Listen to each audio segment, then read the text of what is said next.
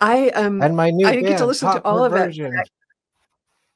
I, like Pop Perversion. That's a great name, and I haven't Oh, checked out you. Pop Perversion yet. But I checked out um Well, we just premiered it right before you came up. Oh yeah, I saw that. Thank you. Uh, what did you think? It's a weird one, right?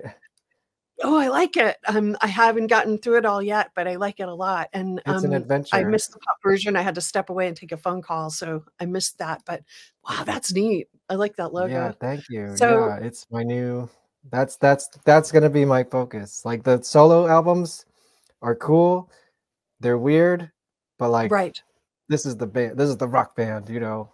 Uh-huh. And that shit was just like basically pandemic experiments. So I was explaining before, I don't know how you this would be a good question to ask you, but for me, like when I write music, it's just ideas that come to my head. I don't sit down to write. I just get ideas, like divine intervention, and they become my songs. You know, no matter what the style is, it just filters through the sounds that I like, and it becomes one of my songs.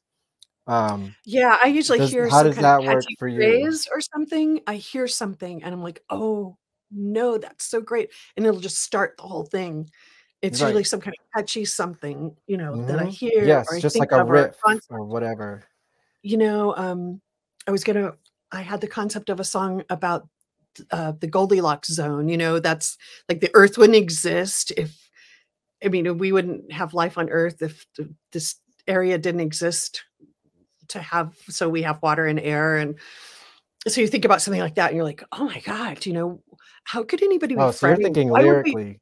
yes and and Okay. then but then musically it's um i like heavy but i like all sorts of stuff i i am very i have a very hmm eclectic taste Yeah, well, music same so here. I mean, that's why my songs are all yeah different all over the place styles, even though the sound is what brings it together. You know, like right it sounds right like the same band playing this song. i like the con uh the concept of the final boss Right. And so I, uh I was going with this that's is very neat thank yeah you. Uh, this, see, I had to explain that because the solo albums were basically pandemic experiments of me doing the exact opposite of actually just sitting down with an instrument and like writing something. right without having an idea at all.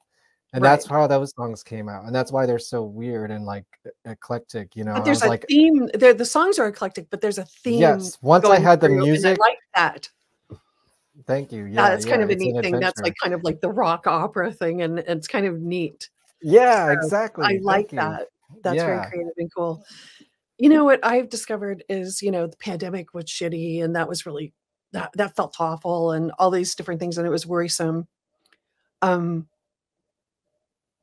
what I what I'm noticing about myself, get you know, because I suffer from a little bit of depression, and I was thinking, you know, it really you, expression is is the the canceling of depression. But sometimes when you get depressed, you don't feel like creating because you're Mhm, down. It's weird. It's kind of like you have to, mhm. it, you almost have to um, fake it until you feel it, kind of thing. You gotta um, because in the Well, doing can, is where you get yeah, better. The, the, the creating right. is where you get better. The doing is you know pick up. And I, I saw a lot of people during the pandemic were doing a lot, and I just couldn't do anything. It just the way I, to me, it was like I became a shoegazer. It was really Mm. weird, you know, like I couldn't deal. But it is. It's in the do. You know, expression will cancel depression, and Mm. it's just hard to get there sometimes if you're in the depression already. So Well, you just have to you have to fake it and break out. You know, you have to watch like Three Stooges. You know what I mean? Like you have to or Green Acres. or Green Acres. You have to. yeah. it- It'll seem unnatural and it'll seem um, phony. It it won't feel authentic because you're depressed. But you just have to like break out of it somehow. Every cover is hand drawn. Oh, that's great. Um, I don't know how far you got into this, but there's definitely a song on here that's kind of like really the meat. Uh, it's the most uncomfortable one to listen to, and it's definitely a, a a result of a depressing situation, you know. Right. And it's definitely like it's so raw. I I like recorded it that day, the vocals and the guitar, and you'll you'll know it when you hear it. It's called "I Don't Want to Be Sad Anymore," and it's like Uh-huh. as as fun and and, you know, as the like, the story is around that Right. that's really, like, the centerpiece of the album, which is, like, this is all a game, literally, because it's, like, the final boss game, but the game is is life and and the the feelings within are are very real. Does that ma did that make sense? I just rambled Totally, and. I the little segues in between the songs that I heard, I'm not too deep in yet, but it they're Yeah. they're they're they're like a commentary on this. It's very meta, yes. Yeah. Yeah, and so, um And that also lightens the mood because if you if you have a song called "Too Many Pills" without, um, video game commentary over it, it gets even a little bit too serious. Right, right.